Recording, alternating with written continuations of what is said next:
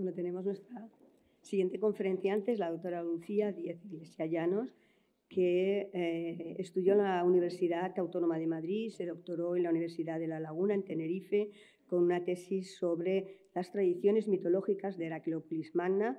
Tras una instancia postdoctoral en Basilea, se incorporó al CSIC, donde actualmente es científica titular en el Instituto de Lenguas y Culturas del Mediterráneo y Oriente Próximo.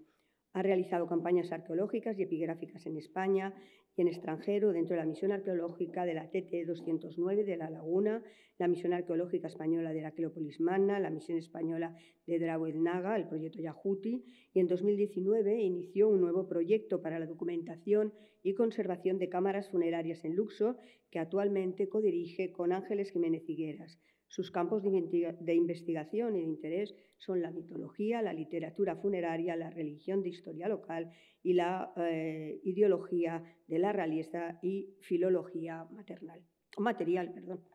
Pues. Hola, buenos días. ¿Se me oye bien? Sí. Bueno, eh, quiero comenzar, me voy a poner el cronómetro porque sé que si no me pierdo. Quiero comenzar dando las gracias a las organizadoras de este encuentro, a Esther Pons, a Isabel Olvés, por haberme invitado a participar, a compartir con, ustedes los resultados de, mi investigación doctoral, que ya tiene unos añitos también. Em, y, eh, bueno, por supuesto, a todo el público es un placer hablar para tantas personas y más hacerlo aquí en el Museo Arqueológico Nacional cuando vengo a hablar de Heracleópolis Magna, siendo el museo el que ha capitaneado de, la mano, por supuesto, eh, mm, em, todas las excavaciones arqueológicas que se han venido llevando a cabo. Así que muchas gracias también por, por toda la documentación aportada, por todas las personas que me han precedido y em, es un placer tener en esta sala a Mari Carmen Peretti y a todas las personas que han participado también en las excavaciones. Así que, bueno, sin más dilación, voy a explicar cómo he organizado un poco los contenidos. Vamos a hacer una breve introducción, unas pinceladas históricas a lo que fuera Cleópolis Magna. Vamos a ver cuáles son las fuentes de las que disponemos para el estudio de Jerishev. Me viene muy bien las personas que me han precedido en las conferencias porque se han hablado de temas que se van a repetir, sobre aspectos que se han perdido, también de los rituales, sobre la complejidad que implica estudiar a los dioses, sobre Hathor.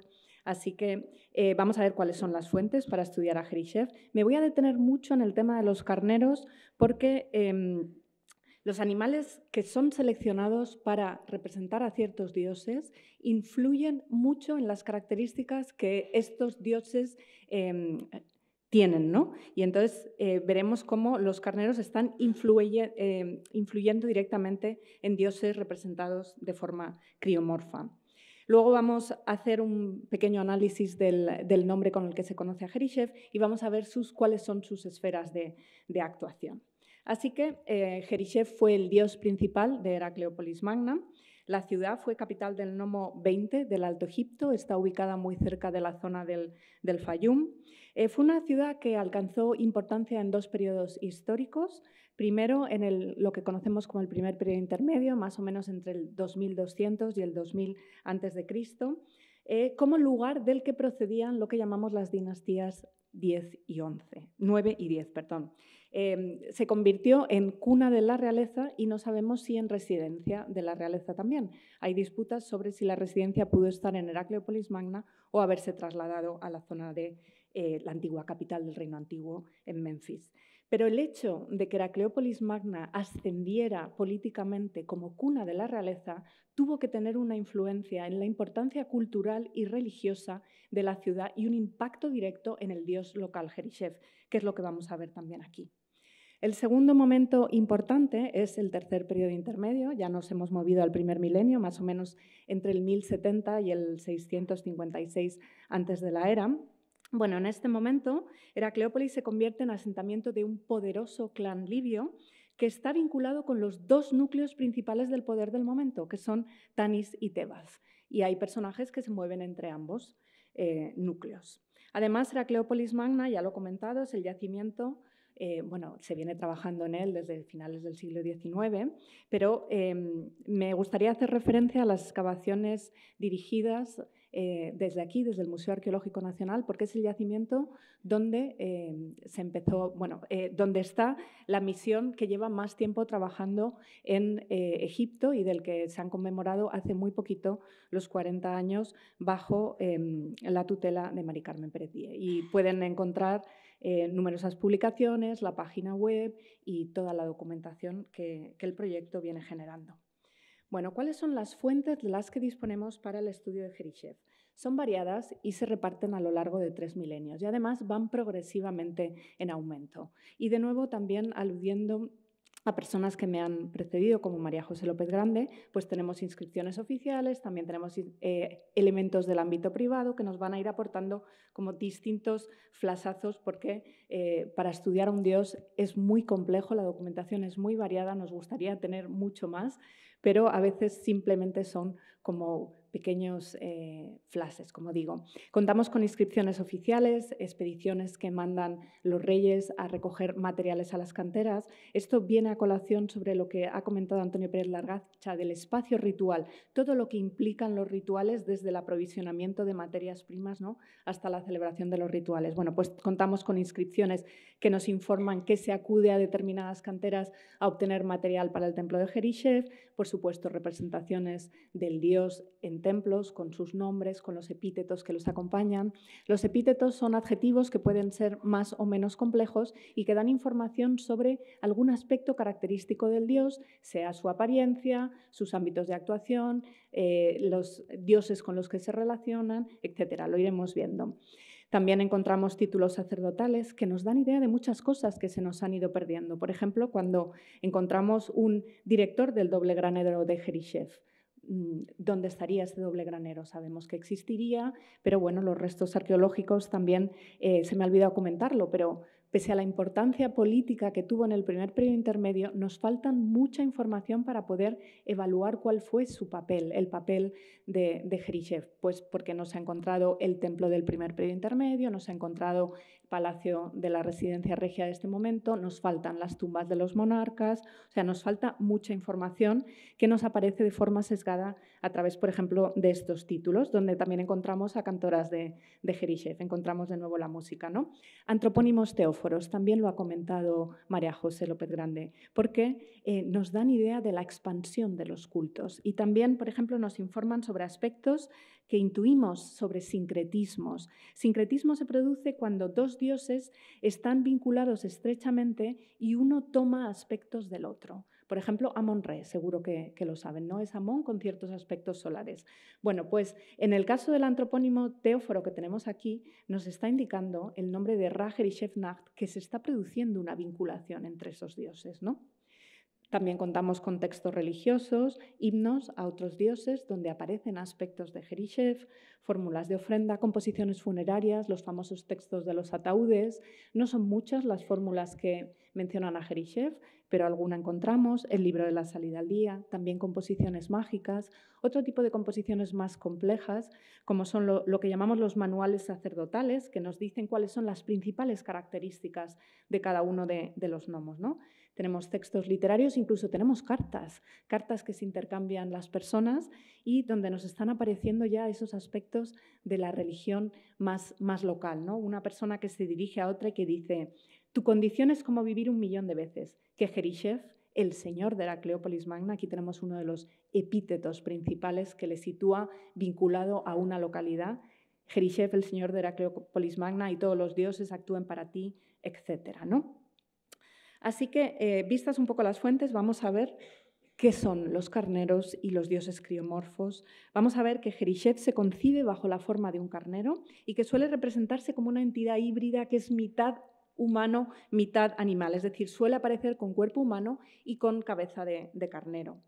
Solo en los documentos más tempranos, aquellos de, las dinastías tinitas, lo encontramos bajo su apariencia animal completa, es decir, representado como un carnero que tienen aquí, en un eh, edificio que está marcado pues, por pabellones, por banderolas, etc. Pero muy pronto, ya desde el Reino Antiguo, encontramos esa apariencia híbrida, al principio no de forma completa, aquí le faltan sus coronas más características, pero poco a poco su imagen, su iconografía se va estandarizando y aparece, como digo, con cuerpo humano, con el faldellín corto, con la cola em, de, toro que cae, con la cabeza de carnero, con esos cuernos masivos y casi siempre con esa corona tef. La corona tef, luego veremos qué es, sin ser específica de Jerishev, sí que está íntimamente ligada a aspectos de su personalidad. Nada eh, los egipcios lo dejan al azar, luego lo veremos. Y aquí quiero resaltar que en el Egipto antiguo los animales que se eligen para representar a un dios no se eligen al azar. En primer lugar, los animales no son el dios en sí, ¿vale? Los animales son el receptáculo que permite hacer visible a la divinidad. Y los egipcios, si algo les caracteriza, muchas cosas, pero si algo les caracteriza es que son grandes observadores de la naturaleza y del comportamiento humano. Y entonces seleccionan determinadas especies para relacionarlas con dioses porque tienen características concretas, porque tienen una apariencia particular, porque encarnan un poder, eh, porque tienen una capacidad específica, porque representan un símbolo con algún tipo de significado religioso. ¿no? Entonces, ahora, ¿cuáles son estos rasgos distintivos de los carneros que se van a plasmar después en eh, la personalidad del dios Jerishev? Vamos a empezar desde el principio hablando de las razas de carneros que hubo y que aparecen vinculados a varios dioses, porque eh, tenemos a los dioses Amón, a Agnum, a Jerishev, al carnero de Méndez, a cuando recorre em, el mundo subterráneo ¿no? por las noches, representado como un carnero. Bueno, pues en Egipto existieron dos razas de carnero. La más antigua, la tiene en pantalla, se llama Ovis longipes paleoegyptiacus y se documenta desde el predinástico hasta finales del Reino Medio, cuando parece que desaparece del territorio egipcio porque se va retrayendo hacia la zona de Nubia. ¿Cuál es su rasgo más característico? Esa cornamenta que se proyecta así, en perpendicular al eje del cuerpo, que se retuerce en una espiral muy próxima a la línea horizontal. Esa cornamenta que veremos cómo va a marcar también la figura de Jerishev. Y además, eh, las diferencias entre sexos están muy marcadas. Los machos tienen esos órganos sexuales muy, muy marcados, esa connotación vinculada con la fecundidad que también veremos y eh, tienen grandes cuernos, una crin muy abundante que les cubre el cuello y el pecho, mientras que las hembras tienen los cuernos más pequeños o no los tienen y apenas tienen crin. Bueno, bajo esta apariencia están representados los dioses Gnum y Jerishev.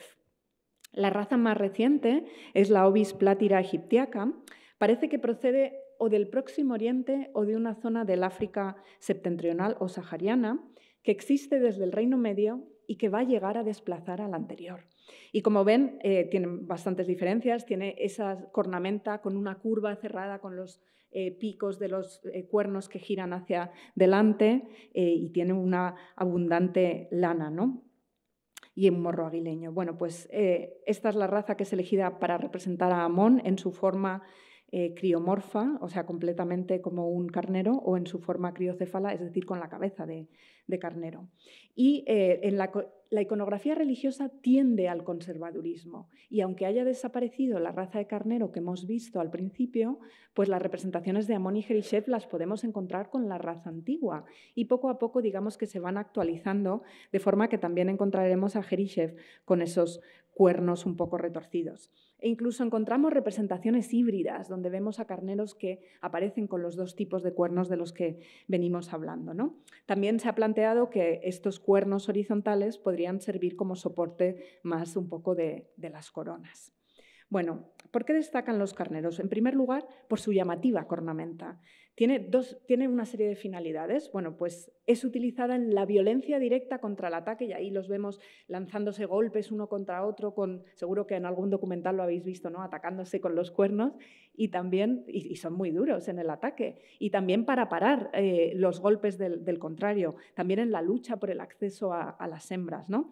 Y además los cuernos son un medio de exhibición, nos dice, o sea, ellos lo, lo exhiben así como para decir, este es mi rango dentro del grupo, estos son los cuernos que tengo, eh, esto indica mi fuerza, em, mi habilidad para la, lucha. ¿no? Entonces, toda esta importancia y visibilidad que tienen los cuernos se va a traducir en una serie de epítetos que caracterizan al dios Jerishev. ¿Os acordáis? He comentado que los epítetos son esas construcciones que nos dan información sobre el carácter del dios. Pues precisamente Jerishev aparece caracterizado como el señor de los dos cuernos, de cuernos retorcidos, aquel con cuernos agudos o aquel de tocado fijo. Pero hay otros muchos atributos de los carneros que eh, van a eh, entrar a formar parte de la personalidad de Jerishev. Y me refiero a la relación con el agua, a la fecundidad, a la protección. Vamos a ir viéndolo.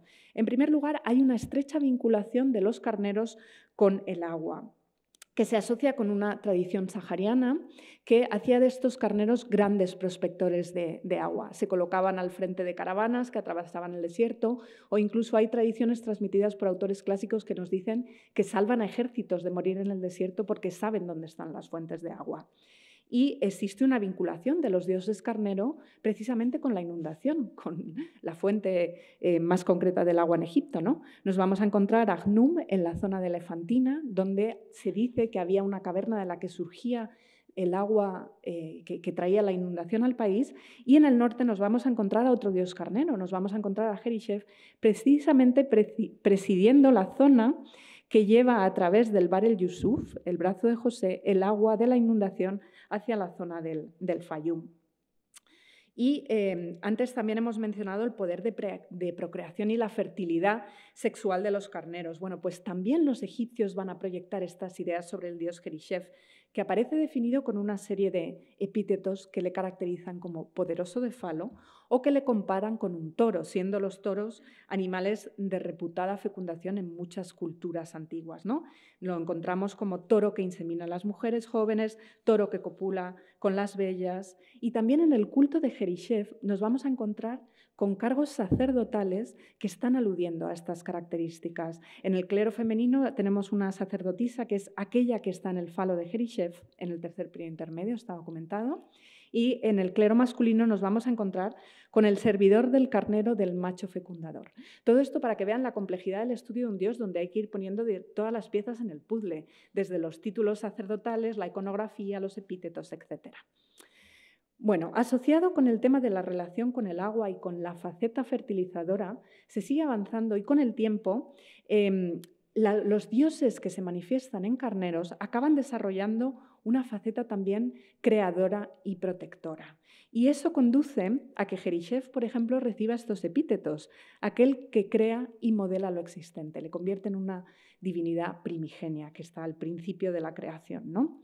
O el engendrador de lo primordial, que insiste un poco en, insiste un poco en lo mismo.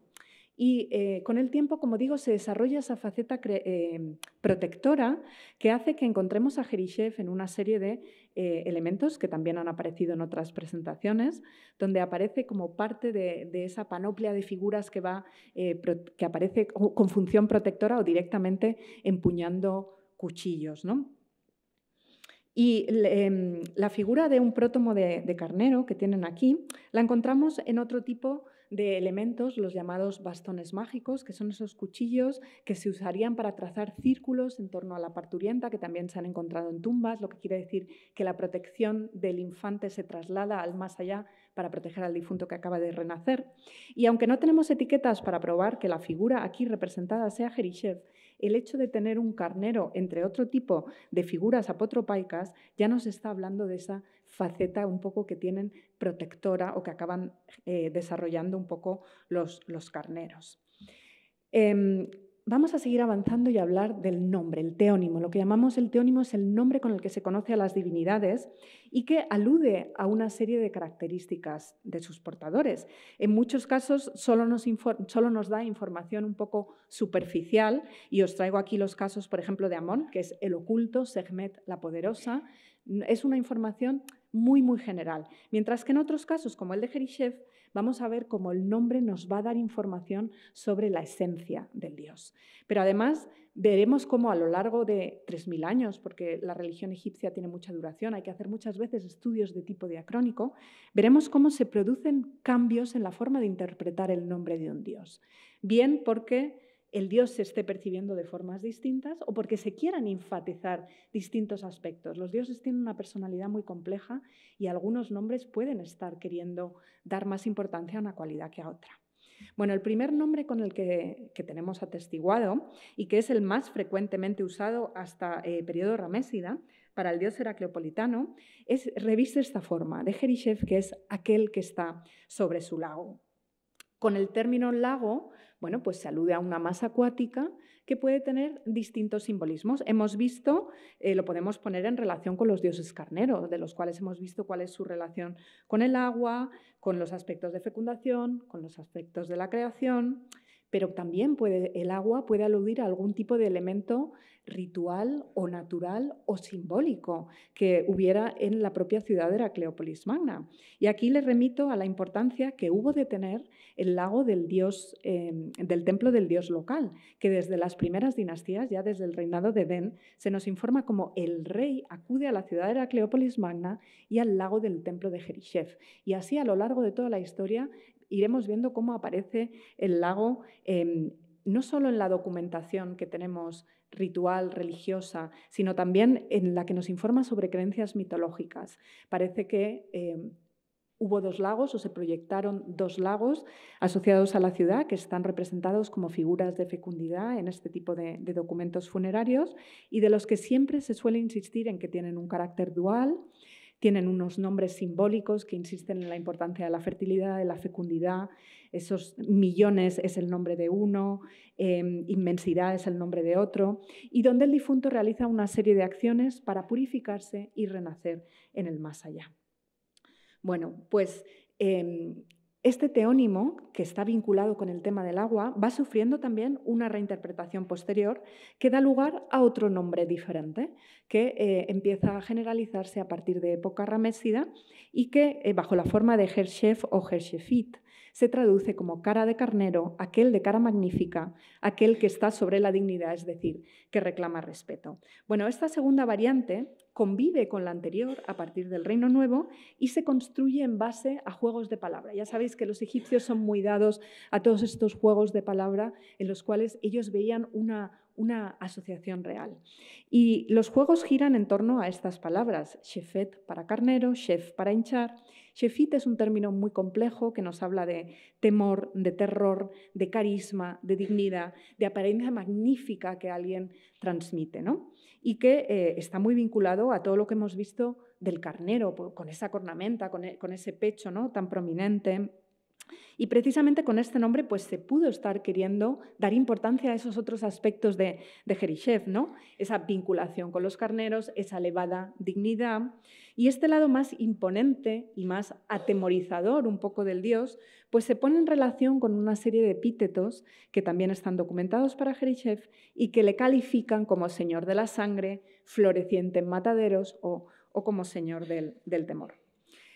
Eh, en lo que ya me queda, lo que voy a hacer es una breve presentación por las esferas de los cinco ámbitos de actuación donde podemos ver reflejada la personalidad de Jerishev. Y vamos a ir retomando aspectos que ya hemos visto a lo largo de la presentación. Y la primera esfera tiene que ver, como no, con el tema de la purificación. Hemos visto la asociación de los carneros con el agua en general, esos mamíferos que son vistos como grandes prospectores de agua. Hemos visto la vinculación particular que tiene Jerishev con eh, el agua por su nombre, por el estanque que habría em, en el templo y, del que a lo mejor Mari Carmen quiere aportar algo de las últimas investigaciones sobre eh, lo que se sabe del lago del, del, templo de Jerishev. También hemos visto cómo hay una vinculación de los carneros con esa fecundidad, con esa fertilidad. Acuérdense de lo que hemos visto de la relación con los toros, ¿no? Em, también forma parte de, eh, de la esfera de la purificación de Jerishev el hecho de que su paredra, su pareja, sea precisamente Hazor porque es importante considerar que un dios no se considera en Egipto de forma aislada, sino que está vinculado con otras divinidades con las que forma pareja o puede llegar a formar tríada. Y precisamente para Jerishev se elige a una divinidad que, eh, como ha señalado Miriam, está muy asociada con el tema de la sexualidad, la fecundidad, eh, espacios también de marismas, etcétera y eh, en una serie de documentos aparece Jerishev acompañada de Hazor, o cuando se representan las dos tríadas locales, vemos aquí al carnero Jerishev acompañado precisamente de la diosa Hazor. ¿Cuál es nuestra segunda esfera de actuación para Jerishev? Bueno, pues la que le asocia con la realeza. Evidentemente, el ascenso de Heracleópolis Magna como cuna de la realeza eh, tuvo que tener eh, un impacto en el dios Jerishev, tuvo que potenciar ese aspecto regio. Y este se manifiesta en una serie de epítetos que va recibiendo Jerishev a lo largo del tiempo. Mientras que en el Reino Medio solo lo tenemos como Señor de los dioses, a partir del Reino Nuevo es muy frecuente que se aluda a él como rey de las dos tierras, como unificador de las dos tierras, como gobernante de las dos orillas y que eh, le sitúan al frente del territorio egipcio prácticamente como si fuera el propio faraón. ¿no? Y es interesante también tener en cuenta que los epítetos muchas veces no son exclusivos de una divinidad, sino que los pueden compartir otras. Y precisamente nos vamos a encontrar con Ta en Memphis, con Atum en Heliópolis, con Amón en Tebas, que van a recibir también esa serie de epítetos regios y que están presidiendo ciudades que están muy vinculadas también con, con la realeza. ¿no? Con esa importancia política que adquieren estos centros y que acaba eh, manifestándose o acaba eh, permeando la personalidad de los dioses de estas ciudades. ¿no? Y luego, esta faceta regia también aparece en escenas de templos donde los dioses aparecen eh, en frente de los reyes recibiendo o aportando ciertos dones. Y esto es importante porque las cualidades que caracterizan a un dios muchas veces acaban influyendo en los dones que entrega o que recibe. Si nos vamos al templo de Jerishev y vemos eh, las columnas, vemos que el rey aparece otorgando una serie de ofrendas y a cambio que recibe. Recibe la realeza de Atum o recibe los años de reinado de Atum porque el propio Jerishev, como está vinculado con la realeza, es capaz de entregar a cambio ese don. ¿no? Entonces, en las escenas siempre hay que tener en cuenta que nada queda al azar. Muchas veces se devuelve algo que está asociado con la personalidad del dios. Y los tocados de, que están asociados a Jerishev en fuentes escritas o iconográficas son fundamentales. Eh, principalmente son dos, son la TEF y la Ureret, pero sobre todo la TEF, y son importantes porque nos dan a conocer aspectos de la naturaleza y de la personalidad del dios y que lo vinculan al ámbito de la realeza y que además son los tocados que coinciden con los que recibe Osiris en Heracleópolis Magna. Bueno, pues la corona Tef es completamente omnipresente en los textos que hablan de Jerishev. Jerishev es aquel que está al frente de su trono en Heracleópolis Magna, es un rey mientras que sus coronas Atef están sobre su cabeza. Y eh, bueno, el tocado Atef está formado por esa porción central de elementos vegetales multicolores, tienen los laterales esas plumas de avestruz que aportan el elemento de luminosidad, se apoyan en unos cuernos de, carnero. Es un tocado que está asociado a, varios dioses, fundamentalmente a Re, pero principalmente también a Osiris, y que se vincula con la idea de la fertilidad, de la renovación solar, del renacimiento de la vida, que destaca sobre todo por la capacidad, los textos nos dicen que la TEF tiene la capacidad de generar una apariencia magnífica, una apariencia majestuosa, precisamente Shefit, eso que hemos visto que forma parte de la raíz del nombre de, de y que tienen esa capacidad de crear temor y de crear respeto, que son cualidades que están íntimamente vinculadas con Jerishev. Y eso va a conducir a que Jerishev normalmente aparezca representado con la corona Atef y que poco a poco esta corona pues también se vaya solarizando, recibiendo discos solares, urei, etc. Existen otras tradiciones iconográficas en otras regiones, eh, difíciles a veces de explicar, donde Jerishev aparece bueno, pues con, con, una serpiente entre cuernos, con la corona blanca, con tocados muy complejos de plumas, que pueden responder a tradiciones locales o iconográficas regionales para las que nos, forma, para la que nos falta perdón, bastante información. Vamos a la tercera esfera que tiene que ver con el temor reverencial y que está relacionado con esa idea de, lo que he dicho de Shefit, de temor, de apariencia magnífica, que se vincula con los carneros en base a aspectos reales y en base a aspectos fonéticos. ¿no? Hemos visto cómo los carneros tienen ese pecho prominente y tienen esa cornamenta tan llamativa que em, acaba eh, generando esa idea de prestigio, de temor, de dignidad que transpira en, los dioses carneros. ¿no?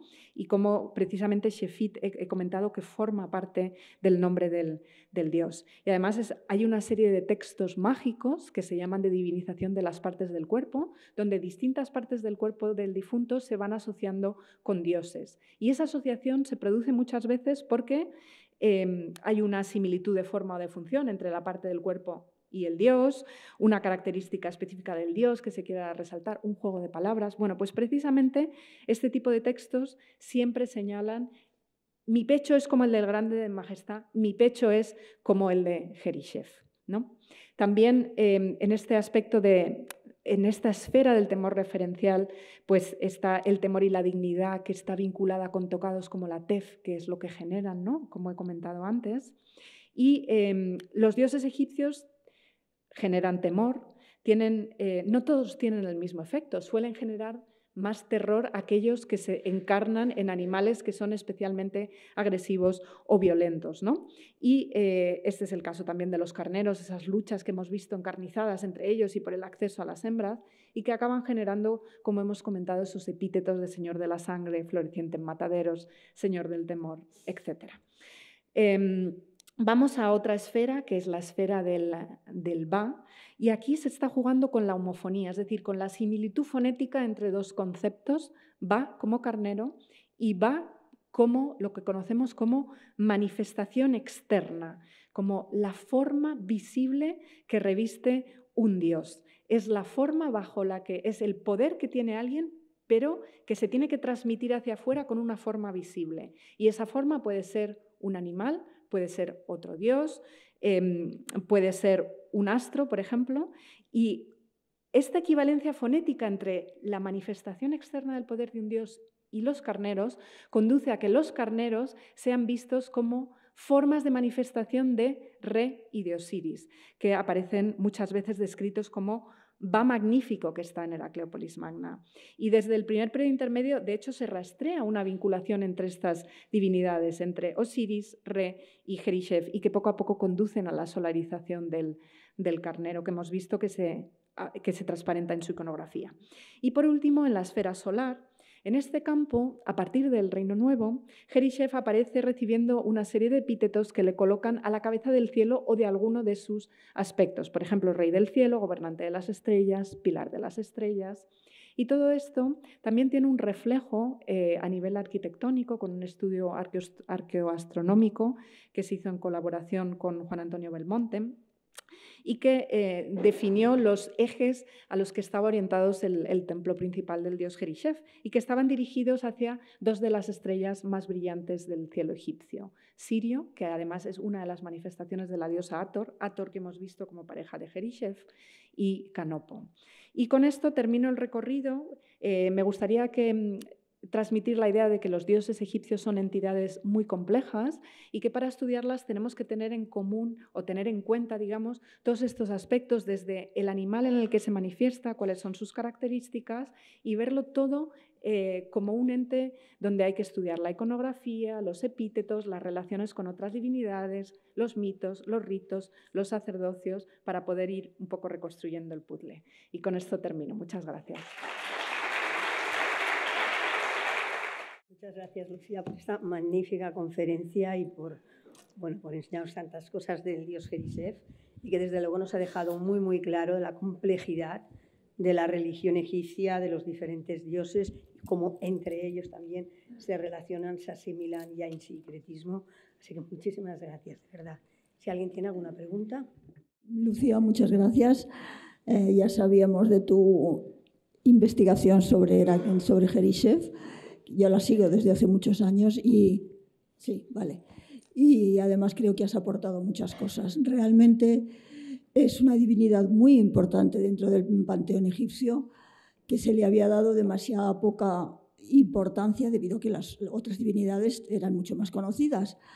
Eh, yo, por eso te quiero decir que muchas gracias, te invitamos a venir, viste el templo, a la excavación, ha cambiado mucho las cosas. Ahora mismo allí hemos seguido trabajando el problema del templo es ahora mismo el agua eh, subterránea, que en función de cuando abran o cuando cierren la presa de Asuán, cuando abran las compuertas, de repente el agua sube. Entonces el agua sube e inunda todo el, tiempo, todo el templo. Si pensamos que el lago, ahora mismo el lago puede estar en cualquier sitio. Eh, esa parte, esa zona que, hemos, que has enseñado con una especie de con agua dentro, pues no parece que sea el lago originalmente, es simplemente debido a que eh, la, cota está más baja, hemos estado excavando allí y, realmente no se confirma que, ese sea el lago. porque si no, efectivamente esto, porque es que eh, cuando sube el agua es que es tremendo, pero hay veces que está completamente bajo. Entonces, esto no está confirmado.